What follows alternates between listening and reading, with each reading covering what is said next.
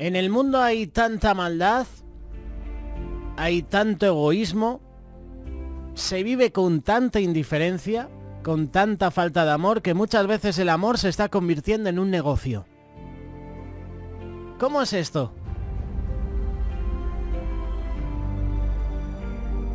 Cuando el pensar y el hacer es según lo que me das, es lo que te daré. Si recibo ofensa, te voy a pagar con ofensa. El mal se paga con mal, y aún mucho más de lo que se recibe. La maldad del mundo se acrecienta. Y ya lo dice la palabra, el amor de muchos se enfriará. El mundo no puede entender el mensaje de Cristo en la cruz del Calvario. Para que lo entiendan deben experimentar el amor de Dios en el corazón. Solo lo reciben aquellos que han creído en Él. Solo lo han creído y recibido aquellos que cada día con su testimonio, con su conducta, con su arrepentimiento sincero confían en Él.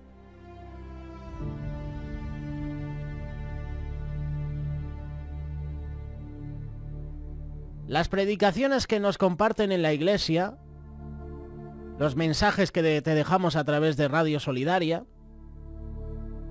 los mensajes que se nos comparten, nos enseñan todos los días que por este sacrificio vemos el amor eterno, ese amor perfecto de Cristo por todos nosotros. Le vemos allí en la cruz entregando su vida, lleno de la inmensidad de su amor, y vemos cómo clamaba al Padre por el perdón de todos los transgresores. Padre, perdónalos porque no saben lo que hacen.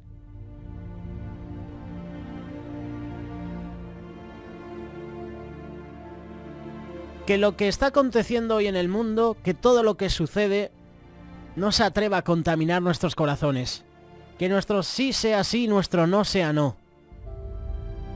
Pero sea vuestro hablar sí, y vuestro no, no. Porque lo que es más de esto, del mal procede. Que nuestras palabras y nuestras obras glorifiquen a Dios. Que nuestro amor sea verdadero. Que permanezcan por siempre. De esto quiero hablarte en este día. Del precioso amor de Dios. De la perfección del amor. Primera de Corintios capítulo 13.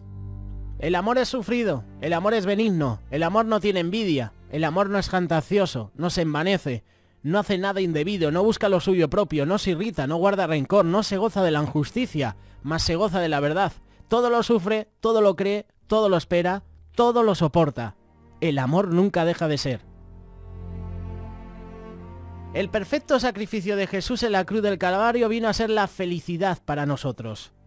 Jesús derramó su vida, Derramó su vida para vivir y hacerse vida en cada uno de nosotros.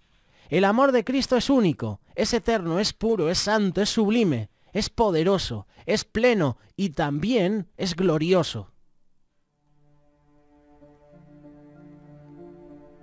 Porque de tal manera amó Dios al mundo que ha dado a su Hijo unigénito para que todo aquel que en Él cree no se pierda, mas tenga vida eterna.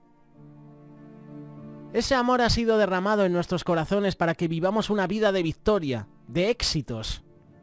Cristo nos entregó su eterno amor y con ello nos entregó su perfecta paz, el perdón, el gozo. Paz que el mundo no conoce. Paz que el mundo no puede entender. Que no lo pueden percibir. No lo perciben, no lo conocen, no lo entienden porque no le conocen a Él. La paz de Dios guardará nuestros corazones de todo lo malo. No es que no vamos a tener pruebas en el camino, siempre las vamos a tener, sino que todas las podremos sobrellevar cuando su amor se perfecciona en nuestros corazones. Estas cosas os he hablado para que en mí tengáis paz. En el mundo tendréis aflicción, pero confiad, yo he vencido al mundo. Juan capítulo 16, verso 33. Qué felicidad es poder descansar en la paz del Señor. Dejar todas nuestras cargas, nuestras preocupaciones bajo su control, bajo su perfecto control. Confiando plenamente que Él hace todo lo mejor para nosotros. Tú guardarás en completa paz aquel cuyo pensamiento en ti persevera porque en ti ha confiado. Isaías capítulo 26, verso 3. Los mensajes que nos comparte el pastor en la iglesia los mensajes que puedes escuchar a través de la radio, los mensajes que puedes ver a través de un mensaje en YouTube, nos enseña que por sus méritos en la cruz nos dio perdón de pecados. Cristo cagó sobre todos nuestros pecados, fue herido y molido por nuestras rebeliones. Él nos perdonó para que seamos libres. Para que nuestro Padre nos perdone debemos perdonar. Perdonando seremos perdonados. Perdonar a todos los que nos ofenden. Esa es una decisión del corazón.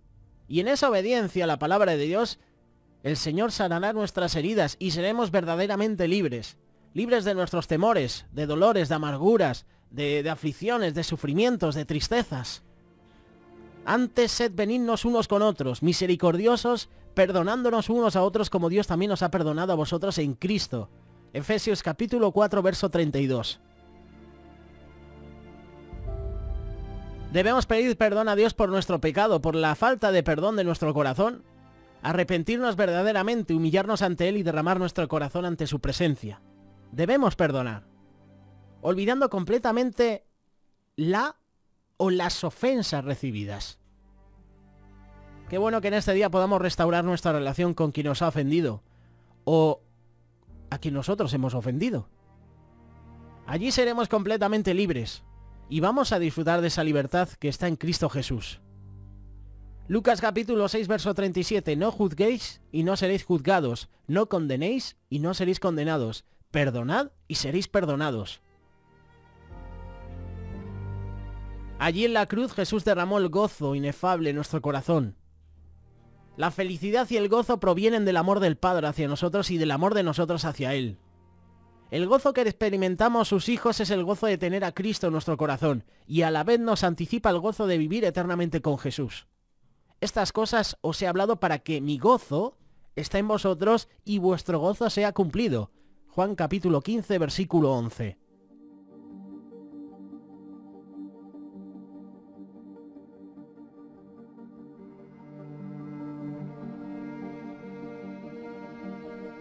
Nos gozamos en Él por su resurrección en nuestras vidas.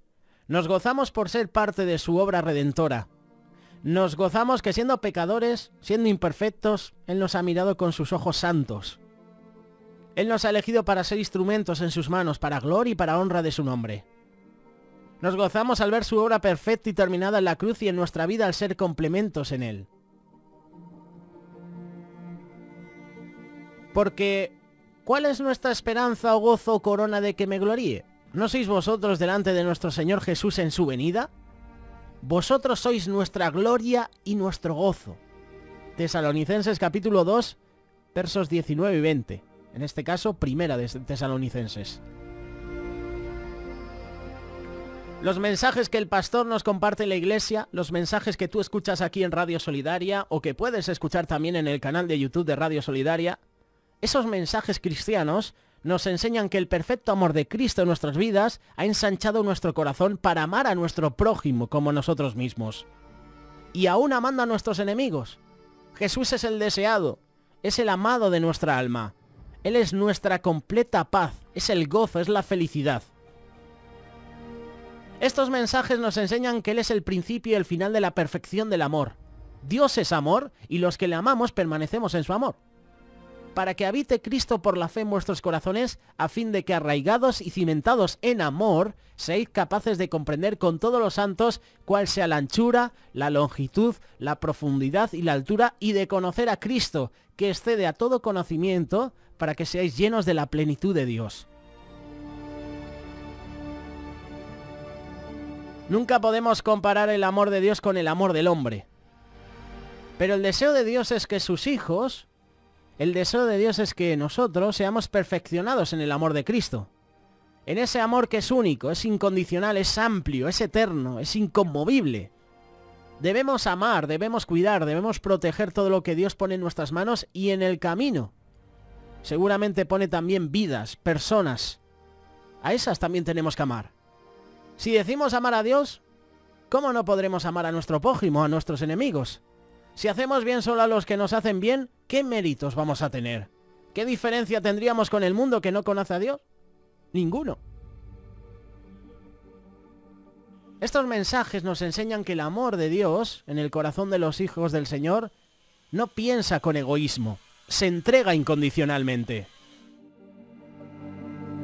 Además se ofrece voluntariamente, se goza por lo que da, no se queja por lo que no recibe. Su fidelidad es ver feliz a los, de, a los que está amando, y amar es actuar con rectitud de corazón. La capacidad de amar es lo que engrandece al hombre. El amor verdadero nace de un corazón puro, de un corazón limpio y agradecido, de un corazón que tiene misericordia. El poder del amor solo proviene de la fuente verdadera que es Cristo. Sin Él nadie puede eh, estar perfeccionado en el amor. El amor todo lo sufre, todo lo cree, todo lo espera, todo lo soporta. Lo hemos leído, Primera de Corintios capítulo 13, verso 7.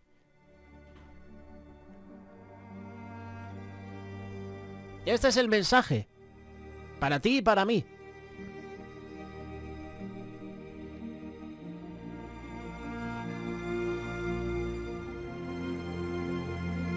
Hoy es el día de pedir perdón al Señor por no haber entendido lo que significa amar en su perfecto amor. Ayúdanos y perfeccionanos, Señor, con tu amor divino, que caminemos en tu perfecta y en tu guía.